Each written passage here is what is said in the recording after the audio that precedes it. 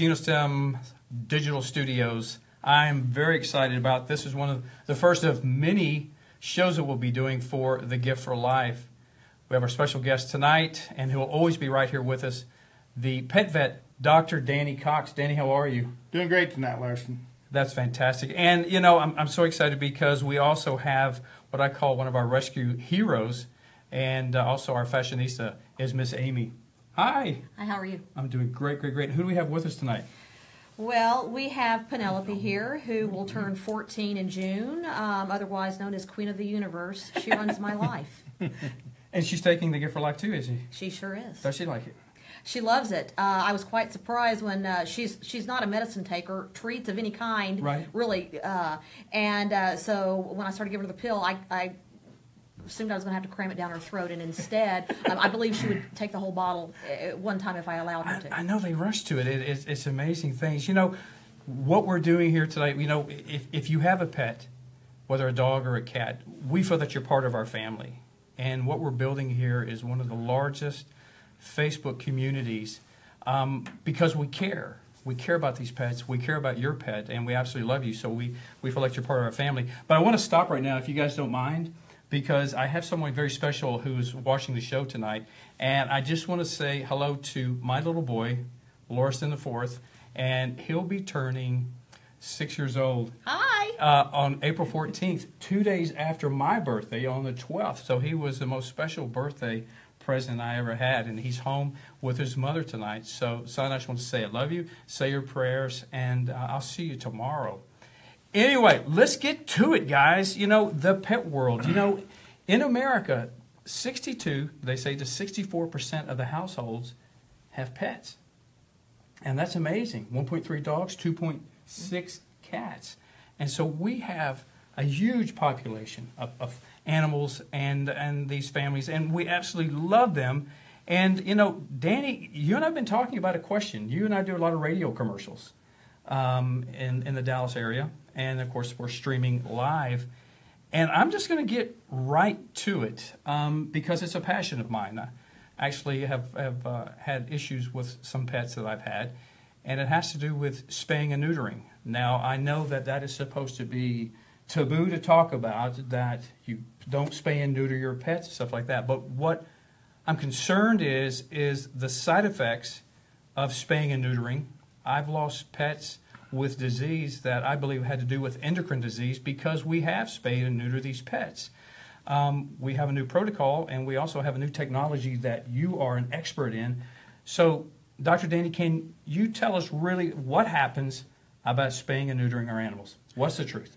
Well, I'll be glad to talk about it. Uh, as, as, you said, it is a passion of mine as well, Lauriston. And uh, what we find is, uh, you know, these these pets have become parts of our family. They yes. we treat them so so much more today uh, than ever before as members of our family. Uh, little Penelope there is, is a very special part uh, uh, of her family. And um, so, what I get concerned about is the damage that we can do if we're not careful with the, the, the technology and the medications and the things that we have. That's why I was drawn to the Gift for Life. The Gift for Life really has helped my pets, my, my patients, uh, live more, you know, better lives, more longevity in their lives, uh, less discomfort.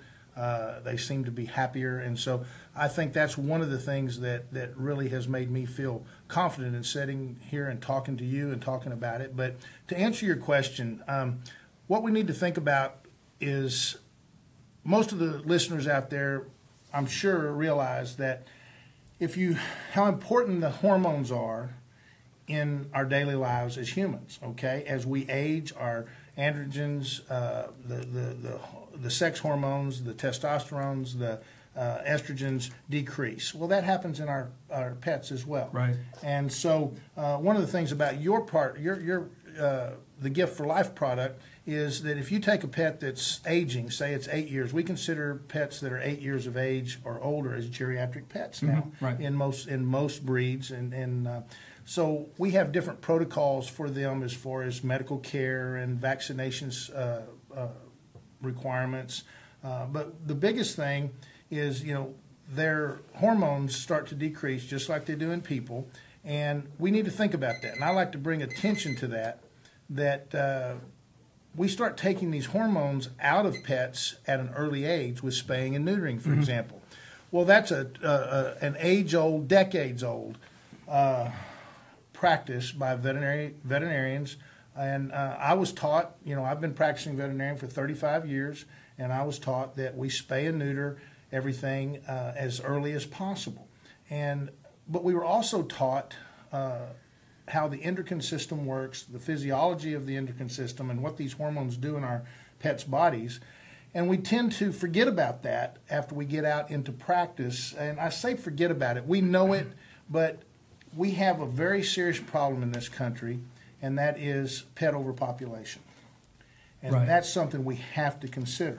We have to put that at the forefront, and that's why you've heard all the, the, the, the people in, in the country, you know, the Bob Barkers and, and the Doris Days and the Betty Whites saying spay and neuter your pet. I don't disagree with spaying and neutering your pet under certain guidelines and circumstances. But for the best thing, the best for these pets is to, if you're going to spay and neuter them, you do it at an appropriate age for the breed, and you supplement them with the gift for life uh, to help reinstate that equilibrium in their endocrine system. The other thing is we have alternatives now to the routine spay and neuter in Well, veterinary well, practice. can I ask you a question about some of the hormones? There's a lot of pets out there, and they automatically think that they're going to have hip dysplasia because of the certain breed. But what I have found out is you also need these sex hormones in place to close up the hip plates. So if you spay and neuter too early, it's not really the hip dysplasia because of the breed. It's because they were neutered or spayed too early, and therefore the hip plates weren't able to close up, and then ligament tears, or three forms of cancer, or Addison's disease, or Cushing's disease, or, or anxiety, or separation anxiety, which we'll talk about on another show. We'll talk about a little bit later, but there's such an endocrine crisis going on. So my passion was is that yes, we have an overpopulation. It's not the pet's fault. Um, they are so innocent and true to the nature, and that's why we love them. But if you do spay and neuter, should we not also make it a protocol that you should give the gift for life that will actually work with the adrenal cortex to start producing the lost hormones and actually starting in just four days you and I are finding out these animals are turning on again. Is that not true? That's absolutely true, and I've seen it firsthand. And again, you know, we know it as veterinarians that the hormones are important for just what you just talked about. Uh, the, the, the my big passion right now is uh, the longevity of life. You have certain breeds, the large and giant breed dogs, for example. they uh, they suffer severely at different different points in their lifespan, which is very short as compared to the small breed dogs Right. like this. And they It's suffer heart- from heartbreaking. It is heartbreaking. You have uh, you know the number one dog in the world uh, that gets osteosarcomas, which is is uh, bone cancer, Right. are Irish Wolfhounds. The youngest dog, large giant breed dog in the world that gets that disease is Great Danes. Great Danes are wonderful, peaceful, gentle giants.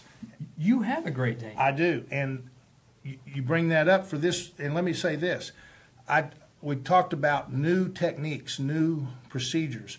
Uh, it's not really that new, but it's called an ovary sparing spay. And I took my Great Dane when she was just six months old. Right. I would never recommend, and haven't in my career, recommended spaying a Great Dane or neutering a Great Dane before they were at least 18 months old. And the simple reason is, and other giant breed dogs too, the simple reason is, as you pointed out, the growth plates, those haven't closed yet, and you want those to grow. You want the dog to grow normally, and and uh, that's not happening when you spay them and neuter them at six months of age. And we know that, and so we try to recommend that. And veterinarians for, for decades have recommended wait and do this later. But a lot of uh, a lot of uh, shelter situations where they have to get them spayed or neutered, they feel like that's the thing to do before they can adopt them out. Or rescue dogs, and they want to get them adopted out, so they say, "Hey, let's uh, let's spay and neuter this dog. It'll be easier to adopt them." I don't agree with that, but that's you know, and, and a lot of us don't agree with that because why do they do that? Biggest reason is they talk about behavior. It's going to make the dog a better dog. It is not. I'm here to tell you there's no scientific evidence. There's anecdotal evidence that shows that some dogs will behave differently after they've been castrated Okay, Right. we know they'll behave differently after they've been spayed because those hormones are so valuable. But to tell you what I was going to tell you about my dog, uh, Pepper, she's the the Great Dane. I did an ovary sparing spay in her. I I eliminated the problem for overpopulation and I saved her hormones. And she is one of the best dogs. She's now two and a half years old and she is slender, she's fit, she's an excellent dog. It did not change her personality in any way except in a positive way. Calm in nature. It is. And, and, and can I bring up a, a discussion you and I had uh, a few months ago that when you spay and neuter uh, a, a dog or a cat, uh, and, and by the way, I've seen kittens that are being spayed out there, and it breaks my heart. It just doesn't make any sense. But. I believe you said that when you spay and neuter an animal, that they're basically producing one half of 1% of the hormones that they had before these elective surgeries were made. Yeah, you're removing uh, about 99 plus percent of the hormones when you do the surgery. So now you've got very little left. It's being produced in the adrenal cortex. Well, let me talk about this because I know you and I've had this conversation, and the same you and I've had conversation too about this. University of California Davis Veterinarian School um, actually did a study on on uh, the golden retrievers, That's right. and you knew all about this. And after the study, they, they did that they found out, and again, I'll go over it again. When you spay and neuter an animal, that they were finding out that you had a major increase in, in the three forms of cancer, uh, the Addison's disease, Cushing's disease, hypothyroid, even all the way down to ligament tears. And and I've witnessed that the other day. There's two beautiful Great Pyrenees that actually walk around my neighborhood, and they walk them every day, and they're absolutely amazing animals. But the male came down just by walking with a ligament tear, and I asked him. I said, "Was this dog neutered?" And they went, "Well, yes." And I went, "Boom, okay." So I immediately started talking to them about the hormonal replacement through the adrenal cortex naturally by giving a chewable treat in the morning and one in the afternoon.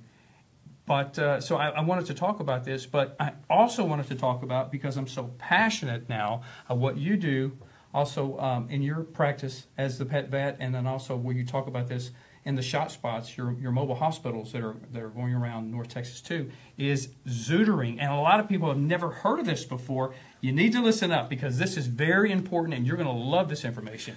Well, as you said, zinc neutering is uh, there's a there's a uh, procedure called zeutering. We don't neuter, we zeuter, and we use a uh, chemical combination of zinc uh, gluconate and arginine, and an amino acid that's been uh, uh, designed to sterilize the pet. The way it's administered is under light sedation. We inject a small amount of the product into each testicle. It instantly kills the, the sperm Just an injection. just an injection, and it's under light sedation. The dog is not at risk uh, of uh, bleeding. There's no there's no surgery. There's no cutting. There's no pain. We do it under a technique that that uh, we train the doctors to administer this product slowly and carefully in a manner in a certain place in the testicle, Right. so that we don't stimulate the stretch receptors in the tunic around the testicle, which is where the pain receptors are in the vasculature, and so the dogs wake up basically pain free. We give them uh, anti-inflammatories for a few days to help with the swelling that will occur for, by increasing the volume in there. Right. But what the product does then, it, not only does it does it destroy the sperm, it blocks and destroys the cells that produce the sperm, and 50% of the cells of the testosterone uh, producing cells are are uh, damaged as well, so that they won't produce the testosterone. Now, here's the nice thing: I talked about the need for testosterone. Right. We only need the dogs only need 50% to continue normal body function. 50% of the testosterone. Without all the side effects of the Without endocrine side- disease. Exactly. Okay. Exactly. So zeutering is a p- common practice we've done in our practice, both at the pet vet and on the shot spot. The shot spot are our mobile uh, vaccination and zeutering trucks that we drive throughout North North Texas and Dallas, and and uh, we uh, set up on the weekends and and practice this uh, procedure right there on the trucks. And uh, we also have a new truck that we're going to start rolling out next month that uh, has full service on there. We do uh, spay. We'll be doing spays on there too, and offering ovary sparing spays. Well, this truck um, is almost like a, a mobile MASH unit, is it not? It is. It, we do everything. We have radiographs capabilities. We have surgical uh, room on the truck. We have, uh, uh, you know, everything that we have in our in our full service hospital Right. on that truck. It's just in a confined area, and we can only do things uh, under certain limitations. But we get it. We can do it all. That is fantastic. And you know, we have this in North Texas, and I know that you're working uh, to make this go national in a certain period of time and expand this and get other doctors involved and things like that because we need this. We need this for our pet family for sure. And listen, you can get more information about Dr. Danny Cox, the pet vet, the shot spot when you go to the Gift for Life website. So when you get a chance, go to the Gift for Life website. You'll find Dr. Danny Cox there. You'll also find Dr. Preston. You'll see what she's actually using and, and actually prescribing the Gift for Life for, for different diseases. But Dr. Danny's right here. And like I said, you and I do a lot of radio together, and we've been changing a lot of lives. Um, a lot of people have gotten angry at us and taken some shots too. But when we sit down and we actually talk about what's going on, we do this out of love, not out of, and it's a little bit of frustration because we can do better. So now the question is also, Danny, when spaying and neutering or zeutering is going on in your practice, the protocol now is to actually send a bottle of the Gift for Life home with these animals, is it not? It is. That's uh, that's our new protocol that we've just recently instituted in our hospital. Uh, and the simple reason is what we've been talking about. It will stimulate that 1% production of, of hormone. It'll equi- equilibrate or equalize everything uh, to help with uh, immune modulation, Right.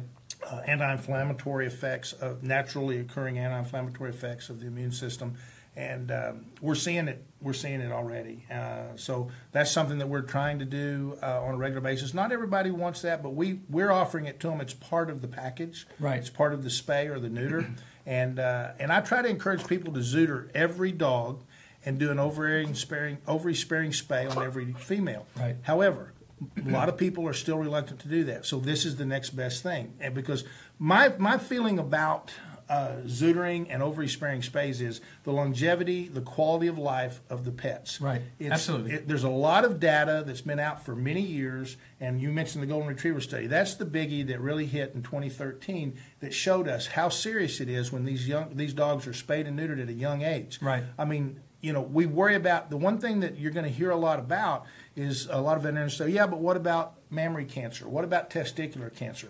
Those are such minute uh, numbers in comparison to the other issues that we see in these dogs as they age, that where the hormones could have saved them. It, this, these procedures can actually help prevent cancers that are ravag- ravaging these animals as they age. Well, testicular cancer, let's talk about that for one second and we'll, we'll move on because when you told me that, I, I just had to laugh out loud. I've been told this before also. I work with a lot of police canine units and stuff like that. You work with Border Patrol dogs and stuff like that. But you said that I have the same chance, my dog has the same chance of me of them getting testicular cancer as I do.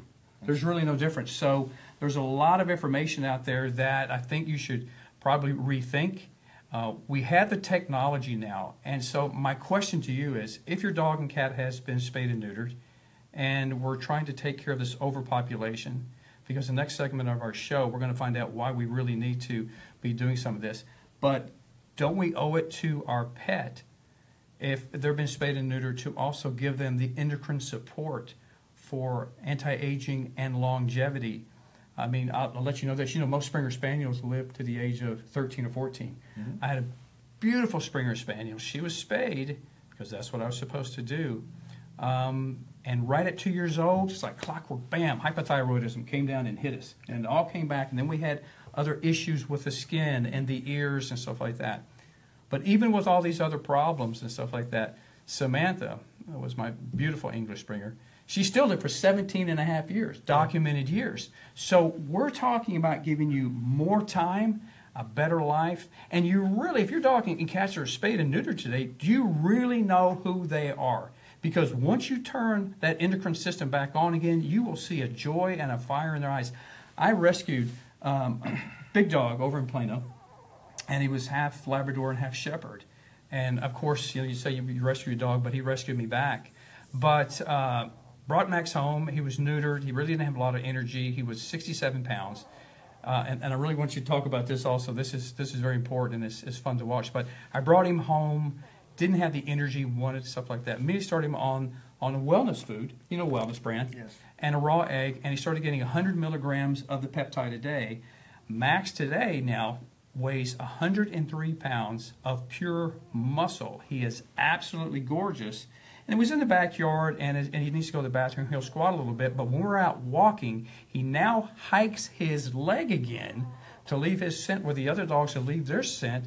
And of course, I say it's because his body's producing through the adrenal cortex and these peptides testosterone again. Max knows who he is again. He is super calm. He is loving. He is faithful. But Danny, what do you think about him hiking his leg again for the first time since he was a baby and he was neutered? Well, he's back to who he should have been. That's he's back to the to the to the the, the dog that he was born to be. Right. Right. He's he's marking his territory. He's letting people know that he's he's there, and uh, you know he's he's he's that's who he is. Right. He's he's, re, he's, re, he's rejuvenated. He's regenerated. He's he's feeling he's feeling what a dog should feel.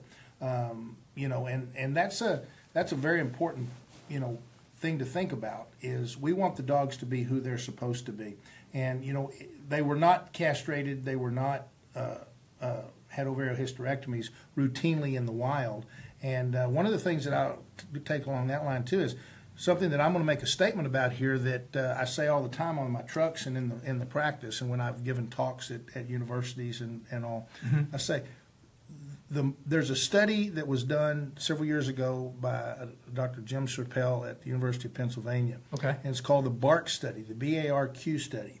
And that study references the fact that the most aggressive dogs in a group of dogs are the ones who have been castrated. That's very important because a lot of other people happen to think that if you leave the, the testes actually in place, that these dogs will be more aggressive. And, and I, we found out that is totally the opposite. And this is going to be a future show that we're going to be doing next week about anxiety and separation anxiety. And, and think about this if this dogs and these cats and their hormones are so messed up and stuff like that, they're just a nervous wreck. Yeah, I've seen it. I've seen it firsthand with with patients where I've had people come back to me and say, you know, I don't want to give a lot of medications, and so I say, okay, we'll try this supplement. Use this supplement. Uh, this is not a medication. It's not a prescription. Try this supplement, and then they come back to me within four or five days and say, my dog's anxiety is basically non-existent, and I want to buy more of this for my other dog.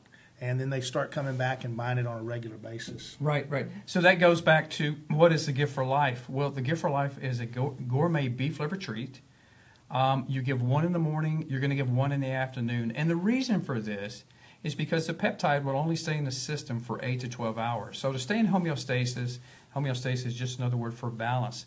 We want these peptides with these naturally occurring growth factors flowing through the dog's blood 24 hours a day, working with the, the hypothalamus, pituitary, and adrenaline axis, working with the endocrine system, and you actually get to see the fire in their eyes come back on again and stuff like that. And we've got future shows where we're going to talk about getting rid of joint pain, um, calming them down with anxiety, longevity, beautiful skin, hair, and nails, and things like that. And so those will be future shows. So you've got to come back and get this information. So, Danny, thank you so much for that information tonight. Sure. I mean, we've covered a lot. I hope we've opened a lot of eyes out there. And think about it. I think your pet deserves it. They've been spayed and neutered. They also deserve your love to help them stay off these diseases and also, you know, calm them down and give them a longer life. Because I know with with Max and my two cats, I want them with me as long as I can because I absolutely love them and they are part of my family. So, anyway, I want you to consider that. Go to the Gift for Life website and read the information, and it's right there in front of you. And if you have any questions, you can email me at info at thegiftforlife.com or go to Dr. Danny's page, which is right there on the website.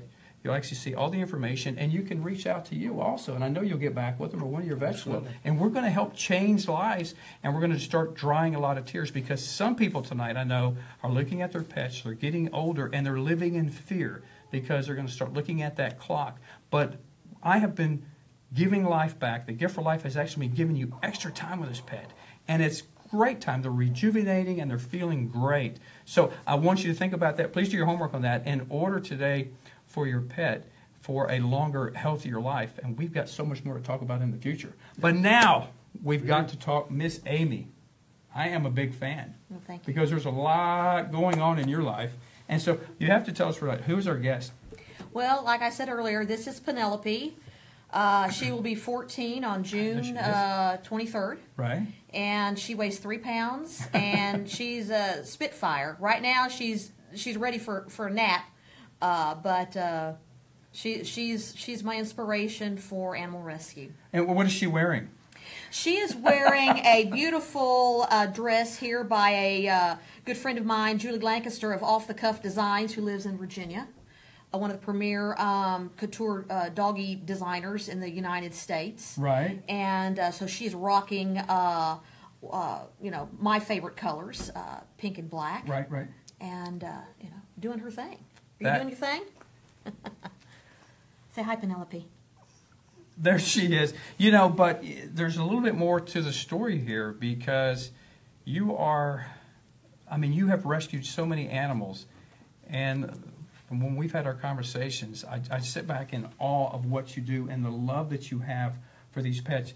You've actually gone from Mexico and rescue pets from Mexico to how far have you gone?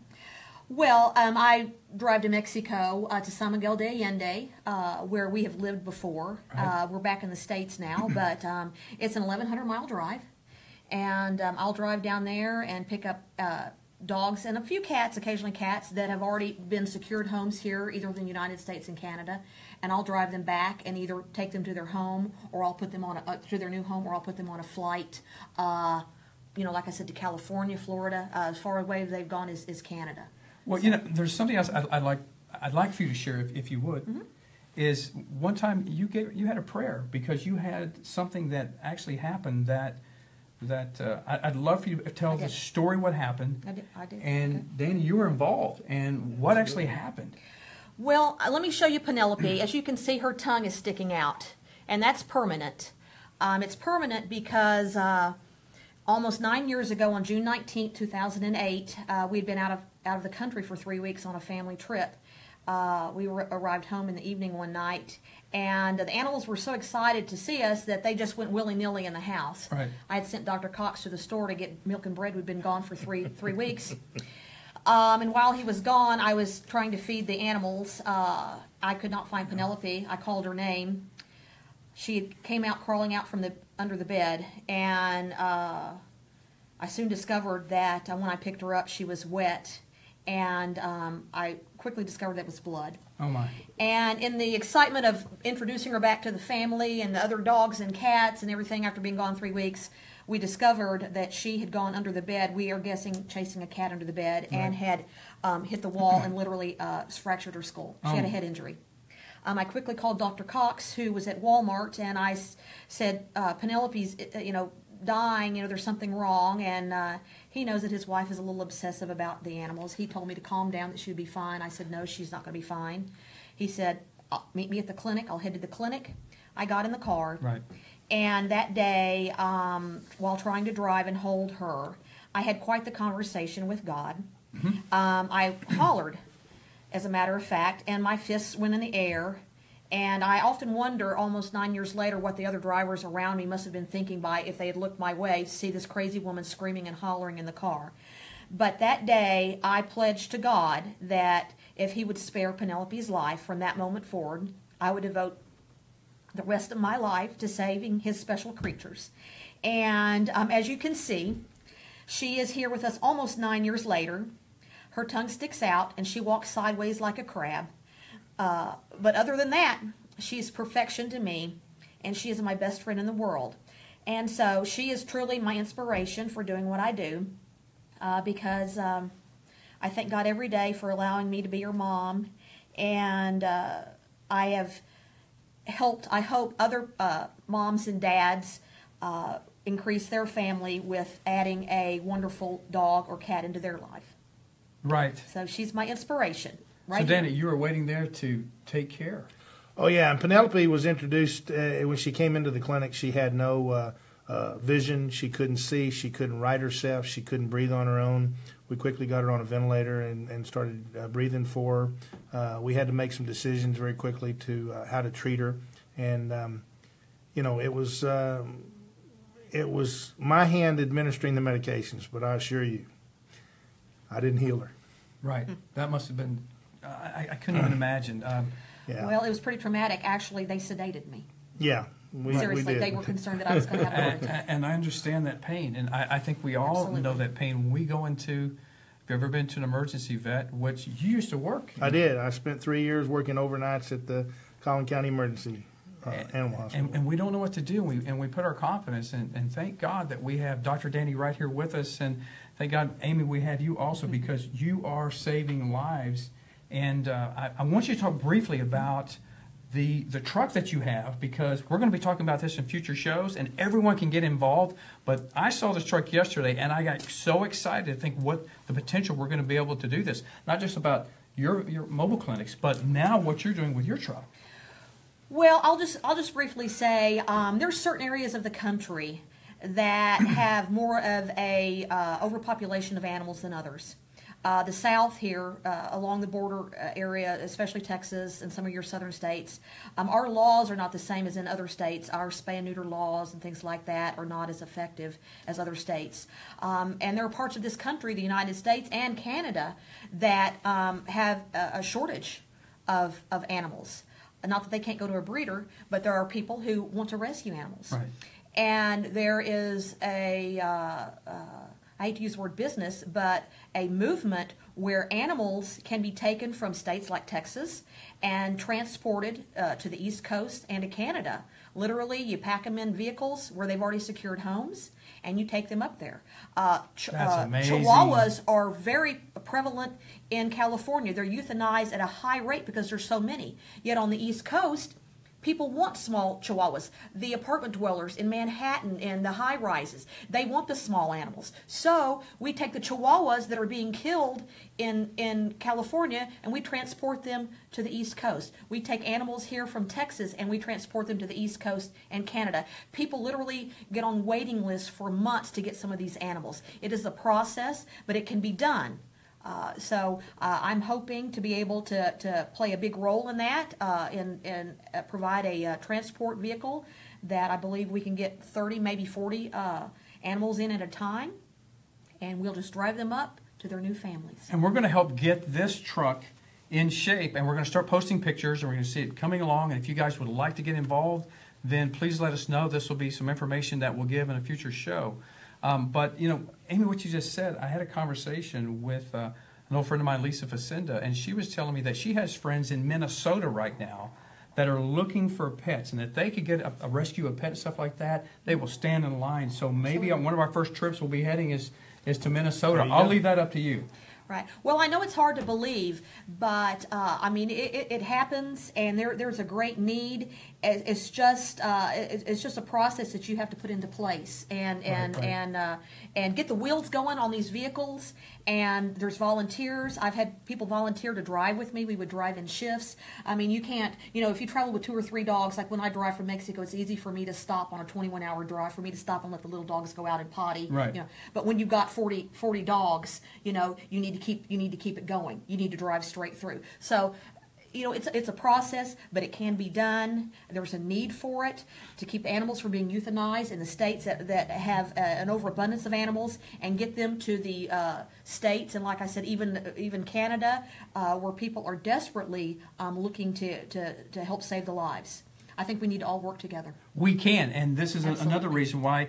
If you would please share this video and and join our family. We want to become the biggest community on Facebook, and the reason is is because we're changing lives, and we're going to find these pets homes, and we're going to show you a way to actually take care of your pet and give them the best health and longest, happiest life with you. But you know what? I can't let you off the hook so much because I know who you are. Oh, you yeah? are the ultimate fashionista when it comes to, and Danny, back me up on this, when it comes to pet fashion, and you're a champion in pet fashion shows from Miami all the way to New York. You are famous in that world, and many worlds. But I, I've seen your costumes, and Danny, I've seen what you've done, and you guys are amazing. We're going to put these pictures up, but can you please talk a little bit about the fashion world and these pets, and a little bit of clothing and things like that, and what does that world actually consist of? Because when I heard about it, I just went, "What? You're kidding!" It was something I wasn't even aware of. And it's, you want to talk about having fun? Yeah. You guys are having a blast. So let, us talk about the fashion world.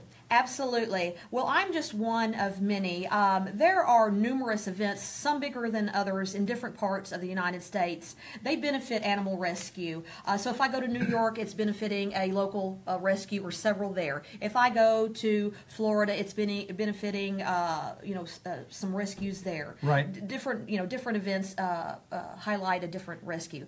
Um, there are uh, doggy couture passion, uh, fashion designers. Uh, Doggy couture. Doggy couture, absolutely. Of course. Uh, many that are that are well known um, and uh, have become very good friends of mine. Right. Um, Anybody want to say hello to? uh, I'd like to say hello to to my number one designer, uh, Danielle Purcell from um, So Doggone Creative. Hello, Danielle. Uh, Julie Lancaster from Off the Cuff. Uh, uh, Darlene Hatchie from um, Julie, Princess Darlene. Lily. right? Uh, Ada Neves and Miguel Garcia, New York City. I could go on and on. Uh, Anthony Rubio, who just uh, gave a huge fashion show uh, uh, during Fashion Week in New York uh, last month. He not only does he dog, do dog fashion, but he does human fashion, very couture. Uh, this is a subculture, a world unto itself. And the money that can be raised at these events is staggering. The outfits that these dogs wear right now, this is this is a this is just a little go to the grocery store type of dress.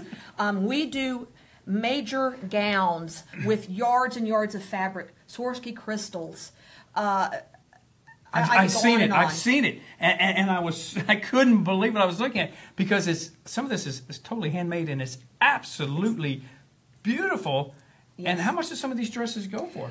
Um, Well, uh, with with my husband here, uh, Dr. don't Cox, I don't know if I want to tell him exactly exactly what I spend. That's why I have those trucks. but just- but but, but I, I, I will tell you, I will tell you, a, a couture gown uh, can run anywhere from three hundred dollars to um, some of these who, people that I just named. If they put Swarovski crystals and things like that, they'll easily easily be a thousand dollars plus. plus, and. Uh, uh, you know that gown can be worn. It can, you know, it helps to raise money.